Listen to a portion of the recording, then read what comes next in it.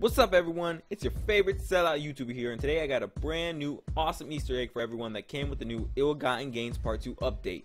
So in order to activate this Easter egg, just go to the airport and get a regular private jet. It doesn't have to be the new $10 million one.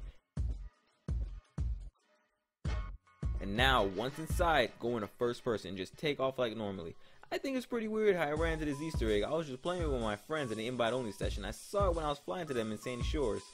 Okay, so when you're high enough in the air, make sure you keep it nice, steady, and straight. Doesn't matter where your destination is, I'm just going to the same direction that I did last time.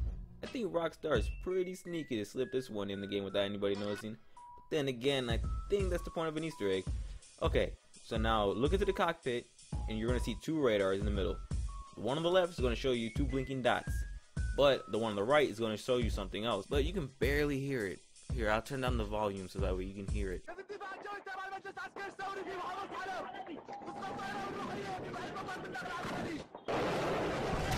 Allah Akbar! Allah Akbar! Allah Akbar! Akbar!